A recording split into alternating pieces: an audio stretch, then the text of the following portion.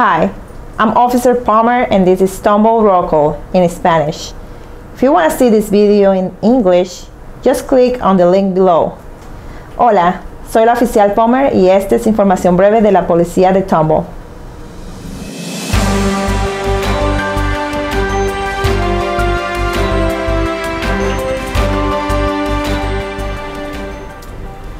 Los oficiales de seguridad los almacenes en la ciudad de Tomo están siempre alerta y reportando robos que suceden en sus negocios. Target es un ejemplo de esto.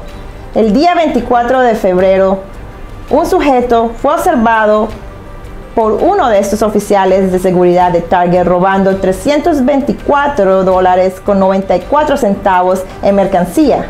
El mismo sujeto regresó el 10 de marzo a Target y robó 1.750 dólares en mercancía. El sujeto fue localizado con la mercancía después de que un ciudadano de Tomo observó al sujeto en el Tomo Expressway empujando uno de los carritos de compras con toda la mercancía que había robado de Target. El sujeto fue identificado como Jake Muller. Fue después arrestado y acusado por robo después de que se hubiese identificado positivamente. El arresto de la semana ocurrió el 21 de marzo del 2018 cuando uno de los oficiales mientras patrullaba la FM 2920 vio una camioneta negra conducir derecho en el carril de voltear y casi a punto de tener un accidente contra otro vehículo. El oficial inmediatamente intentó parar la camioneta, pero este continuó conduciendo por más de media milla antes de parar. Cuando el conductor, identificado como Michael Robinson, finalmente se bajó del vehículo, los oficiales que llegaron a la escena pudieron observar muchas señales de intoxicación. El oficial le hizo el examen de sobriedad al señor Robinson, la cual determinó que no tenía la capacidad física y mental para conducir un vehículo. El señor Robinson fue arrestado y acusado de manejar embriagado. Hemos continuado monitorizando en la ciudad muy cerca a los conductores embriagados y es por eso que durante las dos últimas semanas hemos arrestado y acusado dos personas por manejar embriagados. Recuerden, es mucho más barato y seguro coger un taxi o pedir un ride a casa que ser arrestado y acusado por manejar intoxicado.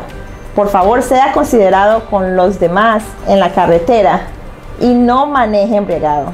Desde que empezó marzo hemos confiscado 10.1 gramos de metanfetamina, 22 gramos de posesión ilegal de drogas prescribidas, 5.3 gramos de cocaína, 3.7 onzas de marihuana y 0.5 gramos de éxtasis.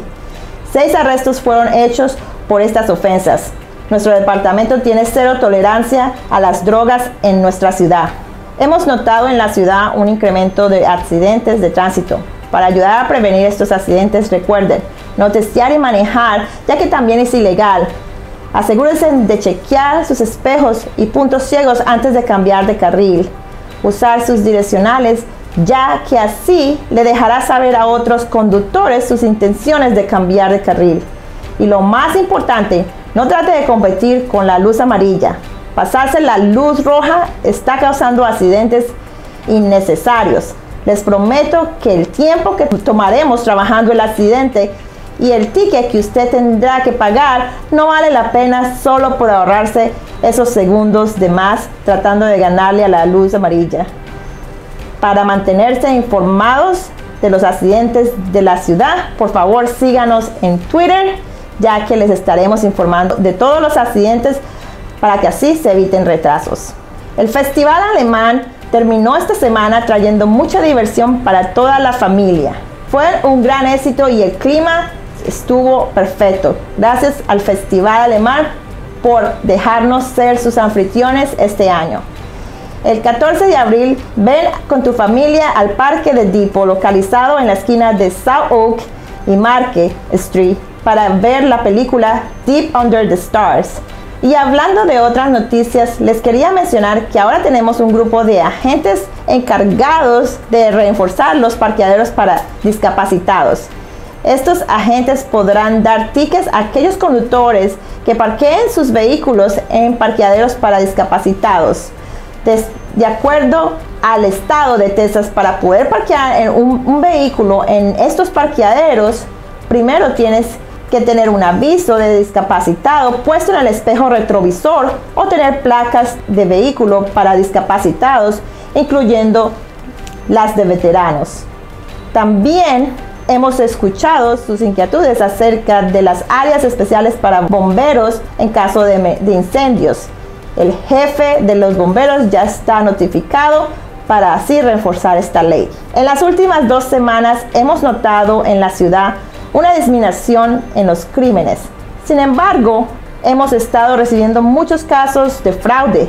Si usted o alguien que usted conoce ha sido víctima de fraude, incluyendo robo de identidad, falsificación de cheques o estafas hechas por el Internet, ustedes pueden reportar este crimen al FBI por el sitio de Internet ic3.gov.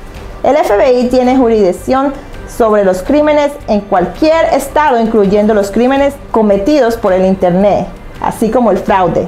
El FBI tiene mejores recursos para investigar y resolver fraudes hechos por el Internet. Por favor, síganos por nuestras redes sociales y compartan este video con sus amigos y familiares para que también estén informados. De nuevo, yo soy la oficial Palmer y esta es información breve de la policía de Tombo.